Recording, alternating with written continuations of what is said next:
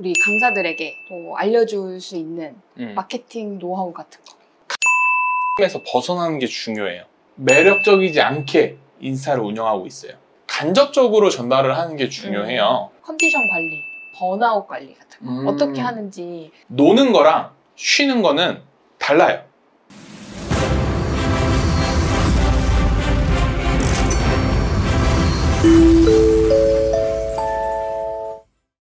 안녕하세요. 전국에 있는 강사님들을 만나는 시간 전국 강사자랑! 오늘은요 아주 특별한 게스트를 모셨습니다. 2년 만에 매출 7억 7천을 네이버 스마트 스토어로 만든 스마트 스토어 강사이자 마케팅 대행업을 하고 있는 이용한 강사님을 모셨습니다. 그러면 본업보다 많이 버는 부업의 첫걸음이라고 했는데 이게 가능한 건가요? 네, 당연하죠. 소비자들의 매력 포인트를 파악을 해가지고 그것을 바탕으로 아이템을 select을 하면 폭발적인 수익을 낼 수 있다. 그 강의를 더 잘하기 위해서는 경제적인 게 뒷받침돼야 되는 건 1순위인 맞아요. 것 같아요. 우리 강사들에게 또 알려줄 수 있는 음. 마케팅 노하우 같은 거. 강사분들께서도 needs wants라는 말을 쉽게 쓰시지만 실제로 needs wants를 잘 활용하시는 분들이 없거든요. 그래서 강사 프레임에서 벗어나는 게 중요해요. 프리랜서, 강사로 크게 성공을 하기 위해서는 사업가 마인드가 필요해요. 담당자들이 나를 쓸 수밖에 없는 이유를 만들어주는 게 정말 중요해요. 좀 어려워요. 왜냐면 저도 이 평생 강사를 해왔기 때문에 이 강사 마인드를 버린다? 이게 너무 배어 있어가지고 쉽지 않았어요. 그거를 하는 방법은 뭐냐면 내가 전달하고 싶은 게 아니라 그 사람들이 듣고 싶은 말을 해줘야 돼요. 그렇다고 막 감언 이설을 해줘야 된다가 아니라 뭐 예를 들어서 이게 여러분들한테 지금 여기서 스마트 스토어를 하는 방법, 뭐 개설, 사업자 등록, blah blah blah 얘기하면 여러분들은 하나도 귀에 안 들어오실 거예요. 근데 제가 프리랜서에 대한 수익의 불확실성에 대한 needs와 wants를 알기 때문에 스마트 스토어를 하면 그런 불안전함을 조금 더 안전하게 함으로써 내가 하고 싶은 프리랜서를 더 잘할 수 있는 원동력이 된다 라고 말을 하면 더 조금 더 부드럽고 매력적으로 들릴 수밖에 없는 거죠.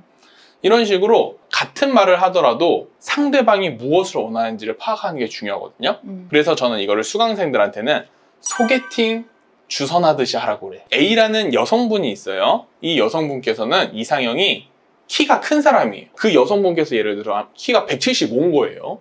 아, 키 작은 남자 만나면 자기가 너무 커 보여서 부담돼가지고 키 큰 남자를 만나고 싶어 하는 그런 케이스라고 한다고 치면 그러면 내가 그 A라는 사람한테 남자를 소개시켜 주잖아요. 그럴 때 어, 이 사람 되게 매력 있고 말도 잘 통할 거야. 이렇게 해서 만났는데 키가 한 170대예요. 그러면 그 여성분은 정말 좋은 사람이지만 내 이상형이 아니기 때문에 아웃이 되는 음. 거잖아요. 그런 소개팅 주선자랑 일맥상통이에요. 내가 이 사람이 좋다고 생각해서 소개를 시켜주는 게 아니라 저 사람이 좋다고 생각하는 사람 중에서 골라서 이렇게 연결을 시켜주는 게 음. 정말 중요해요. 뭐 예를 들어서 강사라고 한다면 그 CS 교육이 왜 회사에서 돈을 주고 CS 강사한테 의뢰를 하는지부터 생각을 해야 돼요. 그거를 통해서 회사의 수익이 더 향상될 수 있고 맞아요. 회사의 브랜딩에 더 도움이 될 수 있는 거잖아요. 사실 교육생들도 마찬가지인 게 계속 그냥 친절하세요, 웃으세요, 인사하세요라고 하면 그때만 듣지 그죠? 실제로 안 하거든요. 근데 그걸 delivery 할 때 강사가 이걸 통해서 어떤 효과가 있고 이걸 그죠. 통해서 당신이 sales skill을 올릴 수 있고 그래서 더 많은 고객들을 확보할 수 있다. 이런 것들을 통해서 이렇게 needs와 wants를 좀 긁어주면 그죠? 듣는 사람도 또 교육 담당자도 또 돈을 주는 대표도 만족스러운 강의가 되는 그죠. 거잖아요. 세일즈 화법에 대해서 얘기를 한다고 치면 사람들도 되게 여러 가지 성향이 있을 거예요. 나는 성과를 잘 내겠어 이런 목표지향적인 사람도 있을 거고 아, 나는 그냥 적당히 할래 이런 약간 현재 만족하시는 분들도 있을 거예요. 근데 이렇게 말해서 세일즈 화법을 하면 돈을 잘 버실 거예요 이러면 그 목표 지향적인 사람만 눈이 초롱초롱하고 음. 나머지 사람들은 그냥 계속 땅만 보고 있을 거예요. 그게 음. 아니라 그런 사람도 포용을 하고 그 현재에 만족하시는 분들 포용할 수 있게 해야 돼요. 음. 예를 들어서 아 세일즈 화법을 하면 두 가지 장점이 있어요. 일단 첫 번째는 계약을 엄청나게 해서 성과를 많이 낼 수 있어요. 두 번째는 진상을 격퇴할 수 있습니다. 음. 평소 20분 동안 진상분한테 쩔쩔 매야 될 게 10분 만에 끝나요. 사람들이 이제 눈이 초롱초롱해지는 거죠. 맞아. 이게 바로 needs wants 메리트예요. 어. 그리고 여기서 한 가지 더 팁을 드리면 그 사람을 보려고 하면 안 돼요. 그 사람들의 입장에서 바라보는 게 정말 중요해요. 음. 바라보는 게 아니라 그 사람이 바라보는 것을 같이 바라봐야 돼요. 음. 약간 플러스 알파로 하자면 음. 담당자가 윗선에 보고를 해야 되잖아요. 그럼 반대로 말하면 윗선한테 보고할 때 조금 더 매력적으로 보일 만한 그런 문구라든지 맞아. 그런 카피라이팅을 연구를 해보면 더 좋겠죠. 왜냐면 MZ세대랑 그 윗세대랑 선호하는 포인트가 다르잖아요. 어, 너무 좋은 얘기들을 많이 해주셨는데 제가 또 하나 말씀드리고 있자면 여러분들은 일단 플랫폼을 만드셔야 돼요. 뭐 유튜브도 있고요, 인스타도 있고 하는데 다른 강사 인스타분들을 살짝 살짝 몇 번 봤어요. 그런데 그분들께서는 좀 매력적이지 않게 인스타를 운영하고 있어요. 이것도 소개팅이라고 생각하면 돼요. 소개팅 와가지고 갑자기 남자가 자 저 시계에 어, 너무 롤렉스고요. 자 제 차 벤츠입니다. 어, 마이 너무 갓. 재수없죠. 그게 아니라 여자들이 자랑할 때처럼 자랑을 해야 돼요. 여자들이 시계를 사잖아요. 자랑을 할 때 나 시계 샀다 보통 안 그래요.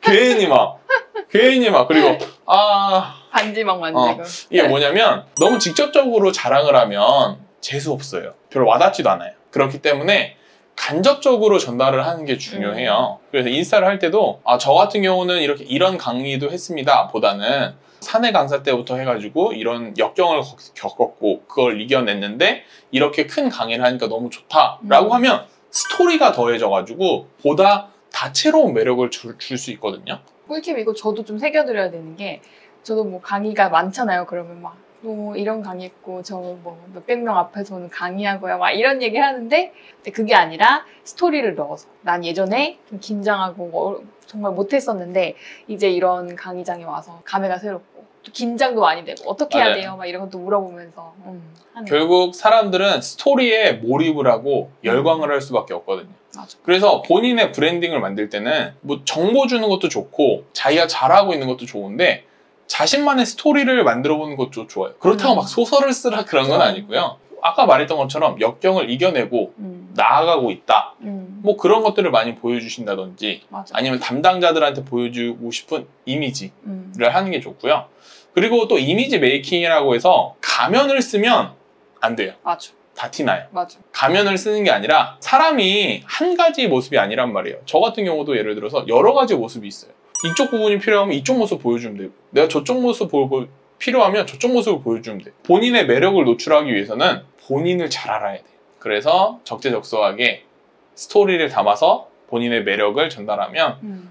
branding을 하는 데 보다 큰 도움이 되실 거예요. 우리 강사님은 사실 원래 전문 강사는 아니었고 스마트 스토어로 워낙 많은 매출을 내다 보니까 그죠. 주변에서 강의를 막 요청한 케이스예요. 그러니까 여러분들도 우리 강사님처럼 성과가 있으면 그 성과를 가지고 많은 사람들한테 도움이 될 수 있는 그런 강의들을 할 수 있는 것 같아요. 맞아요. 그래서 이런 케이스도 있기 때문에 여러분들도 혹시 나도 강사가 되고 싶은데 어떤 걸 해야 될지 모르겠어 하시면 성과도 좋고 경험도 좋고 그죠. 내가 배운 것도 좋고 아니면 실패를 겪었던 그런 사례들도 좋고 그런 좋아진 그런 개선된 사례를 통해서 누구나 또 강사가 될 수 있다는 거 맞아요. 그런 메시지를 좀 갑자기 드리고 싶었어. 우리 강사님은 사실 하루에 뭐 48시간인가 싶을 정도로 너무 바쁘게 보내거든요. 그죠, 그죠. 컨디션 관리. 우리 강사님들이 평소에 컨디션 관리나 번아웃 관리 같은 거 음. 어떻게 하는지 좀 팁을 좀 주시면 좋을 것 같아요. 피곤해지기 전에 쉬어야 돼요. 음. 그리고 노는 거랑 쉬는 거는 달라요.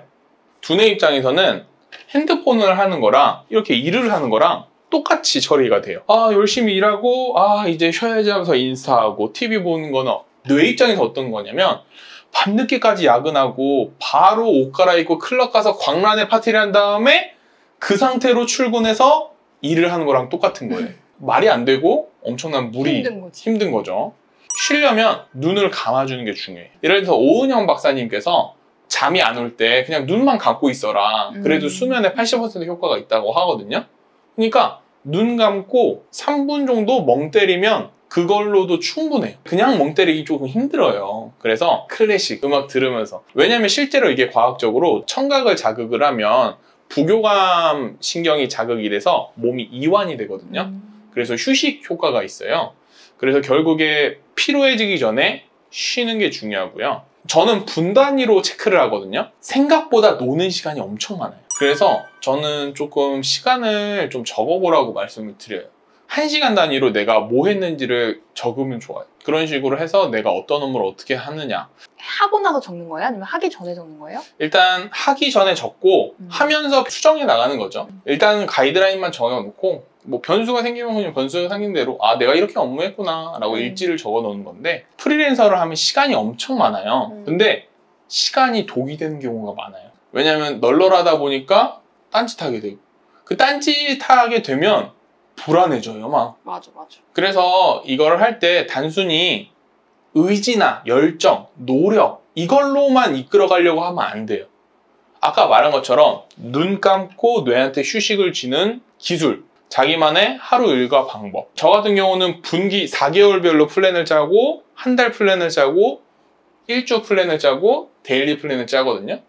그래서 분기별에는 뭐 내가 원하는 목표를 설정해 두고 그리고 한 달 플랜에서는 미리 스케줄을 짜놔요. 음. 약속이나 뭐 일과 같은 스케줄 정리를 하고 음. weekly 때는 조금 더 혹시 변수가 생길까봐 약간 delay day를 만들어 놔가지고 무조건 그 주에 할 수 있게 음. 뭐 이런 식으로 전략적으로 한다든지 음. 이것들이 전부 다 의지나 노력, 열정이 아니라 기술이거든요. 그래서 너무 열심히 하려고 하지 마시고 이렇게 기술을 찾아내는 게 중요한 것 같아요. 자기한테 맞는. 왜냐면 의지, 열정, 노력에만 focusing을 하면 결과가 안 좋았을 때 자책을 하게 되거든요. 음.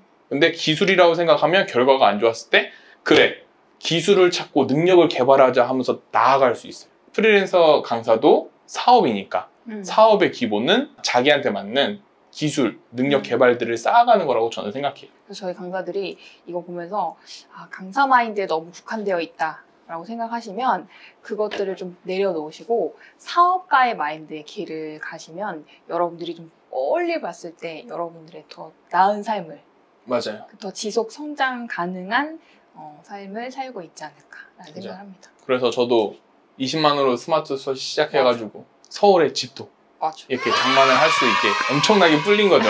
맞아요. 어, 마지막으로 우리 강사님 이거 보시는 구독자분들께 아 그래도 이거 하나만큼 꼭 마지막으로 어, 전달을 못 드린 것 같아서 아쉽다 하는 거 있으세요? 지금 저희 와이프가 구독자분들을 위해서 굉장히 많은, 많은 컨텐츠들을 준비하고 있어요. 분명히 여러분들한테 되게 유익하면서 되게 도움이 많이 될 컨텐츠들이 많을 거니까 우리 와이프 예티튜드 구독과 좋아요 눌러주세요. 역시 감사합니다. 그러면 오늘 이용한 강사님의 전국 강사 자랑 인터뷰는 모두 마치도록 하겠습니다. 감사합니다. 감사합니다.